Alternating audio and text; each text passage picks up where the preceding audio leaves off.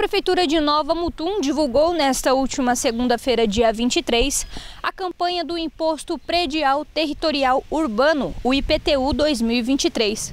A emissão das guias do pagamento continuam sendo feitas todas de forma online, através do portal oficial do município, disponível no site da Prefeitura. O contribuinte ele consegue acessar o, o site da Prefeitura, no portal do contribuinte, e, e retirar o, o, o seu carnezinho. É bem prático e rápido. Só com o número do CPF consegue acessar todos os imóveis. A Secretaria de Finanças e Orçamento espera arrecadar mais de 17 milhões de reais. Para o contribuinte que optar pelo pagamento em cota única até o dia 15 de fevereiro, o desconto será de 20%. 3% a mais comparado com o ano passado. A gente tem três vencimentos para cota única.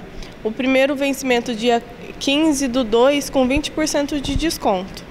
Aí no dia 15 do 3 temos 17% de desconto e 15 do 4 15% de desconto. Esses valores também podem ser parcelados em até seis vezes, também pelo portal. O contribuinte acessa o portal e consegue parcelar em até seis vezes, com o vencimento da primeira parcela para o dia 14 do 4 e com 12% de desconto se optar pelo IPTU parcelado.